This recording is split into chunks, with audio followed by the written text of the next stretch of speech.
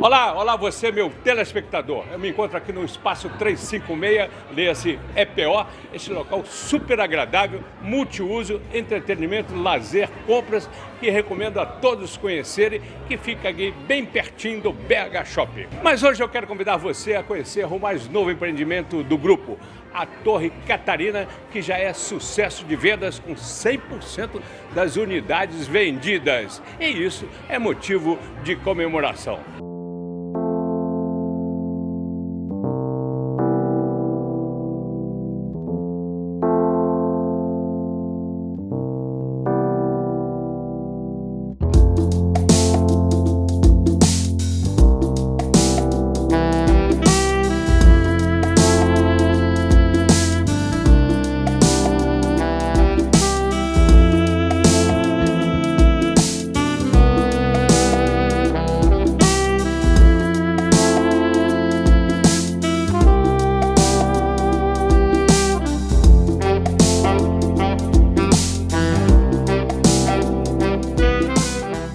Guilherme Santos, é gente que faz e acontece, tal de pai, tal de filho. É, é um legado bacana, parabéns aí você pela sua performance. Torre Catarina aqui, né? é uma torre que a gente ia gravar, inclusive, para mostrar uma, um, um, um impulso de venda. E de repente vendeu tudo, o evento mudou de lugar, não é à toa, né? Sucesso de vendas, Torre Catarina, ali no Oscar Niemeyer, não é isso? É isso aí, Paulo. Hoje seria um evento de lançamento, na verdade, e a gente transformou numa comemoração, Uhum. porque a gente abriu para as pré-reservas das unidades residenciais e acabamos esgotando 150 apartamentos em 48 horas. É. Então foi um sucesso. Fala desse conceito aí pra gente, né? A gente criou um produto, uma torre ali de uso misto, Uhum. então uma base comercial com uma torre residencial, para integrar os moradores com essa praça, Uhum. para também toda a população que quiser utilizar aquela área comercial. Então um projeto bem com um conceito bem moderno e no melhor ponto ali da Alameda Oscar Niemeyer, né? É um diferencial, né? Com certeza, é um conceito super contemporâneo e que a gente está apostando bastante. Ah, sobre a área comercial, dá um detalhamento aqui, o que, que o morador da região e o contexto ali do Vila da Serra ganha com ele. Além da grande praça que a gente está criando, a esplanada ali na, na base, no nível do Oscar Niemeyer, a gente tem dois pavimentos comerciais de lojas que a gente acredita que vão vir restaurantes, lojas de serviço, talvez clínicas de estética por estar perto dos hospitais, além do pavimento de lojas na Rua das Acácias para o outro lado. Então vai ser um mall bem completo, tanto para quem mora na torre quanto para quem está na região. É uma, é uma colinha que eu, que eu tenho aqui que fala exatamente isso, a proposta da Catarina de promover uma sensação de comunidade. Exatamente. Ah. Para quem tanto que para quem mora na torre quanto para quem frequenta a região, é entender que aquele ponto ali é um ponto de encontro, é um ponto de que vão ter vários serviços e criar essa comunidade tanto dentro do prédio quanto nessa base comercial. Para fechar aqui, eu queria que você falasse institucionalmente o que, que significa a EPO, desse conceito aqui dentro da cidade, é, é, fazendo e acontecendo, e dentro exatamente é, de um diferencial, qual que é ele? É. O nosso propósito como empresa é inovar para melhorar vidas. Uhum. E o jeito que a gente consegue fazer isso é através dos nossos empreendimentos. Então a gente pensa muito mais do que só dentro do muro. A gente pensa no impacto desse empreendimento na microrregião, naquela rua, no bairro, como que os nossos empreendimentos podem melhorar a cidade. Fora da caixa. Fora da caixa e fora do muro. É isso. Parabéns para você e toda a família aí. né? Obrigado, A mãe Paulinho. também, dá um crédito para mãe, quem que é ela? Minha mãe é Eliana, uma das fundadoras da EPO junto com meu pai. Exatamente. É. Salve ela. Salve ela. Salve ela.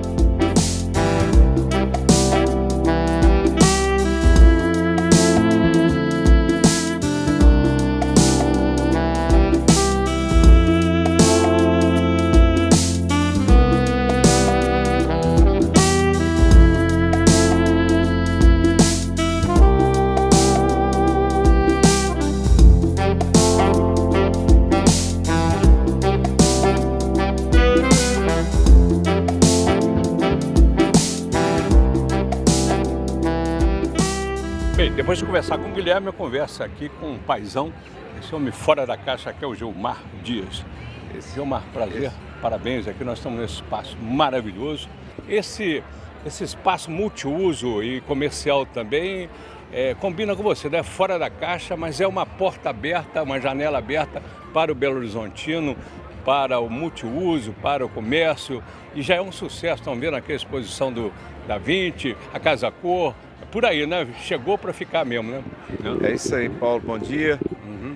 É, o Espaço 356 já é um sucesso, já marca é, o tempo dele na cidade. Né? Ele é um living center, uhum. um lugar de viver, é um centro de convivência, um centro de encontro, uhum. o lugar da família. Uhum. A gente espera que aqui seja uh, o espaço onde o pai possa usufruir dos bares, da gastronomia, a mãe também, tem a Arena Beach Tênis. Lojas arena, aí, né? Lojas de moda. Lojas tudo. também. Uhum. Pode até comprar, mas uhum. o, o principal conceito aqui é trazer um espaço de lazer, de entretenimento, de bem-estar. Verdadeiramente de bem-estar para as famílias, para as pessoas que vierem desfrutar desse espaço. Então é isso a proposta, né? Eu acho que Belo Horizonte vai. Merecia. Belo Horizonte merece, né? Belo Horizonte merece esse espaço.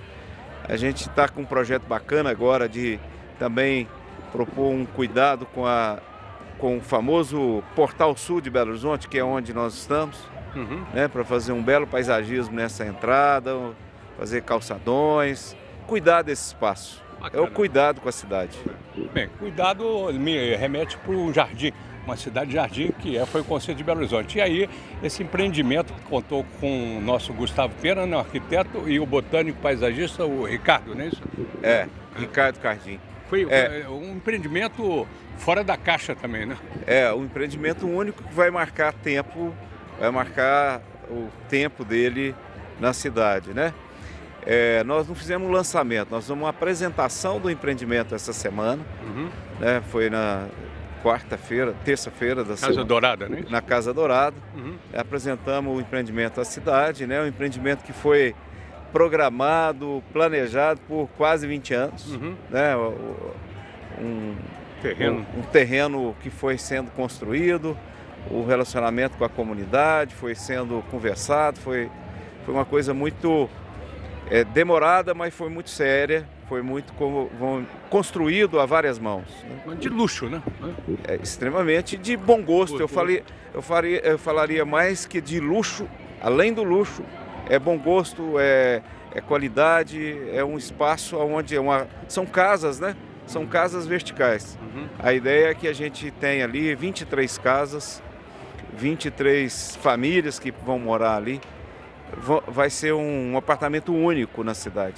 Paisagismo do Ricardo Cardim, um paisagista, um arquiteto, urbanista, paisagista famoso, renomado. E Não... o evento contou com o Gustavo num talk show, os dois juntos, né? Os foi dois, foi bacana, bacana, o momento, foi um momento diferente.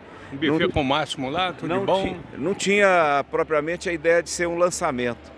Ser um encontro, uma recepção para aquelas pessoas que foram convidadas e apresentar verdadeiramente o, o, o edifício, né, o empreendimento para a cidade. Marcou o início do Muito empreendimento. Para fechar, Fundação Dom Cabral, tem novidade lá. O que, que você está é, fazendo lá agora? É, foi, fui, foi receber um, é, um, reconhecimento aí, qual isso. que é? Eu fui convidado e fui eleito é, membro do Conselho Curador da Fundação. A uhum. Fundação tem um especial carinho e relação com a Fundação de mais de 20 anos também é uma instituição reconhecida mundialmente, é um orgulho para nós mineiros uhum. ter uma instituição daquela envergadura aqui em solo mineiro, né? criado é, pelo Dom Serafim, professor Emerson de Almeida, que são duas, dois ícones né? da, da história de Belo Horizonte, dos feitos, que eles, dos legados deles. Então, é isso. É, isso. É, Gilmar Dia, é gente que faz e acontece. Prazer, parabéns. É isso aí, Paulo. Muito obrigado. obrigado.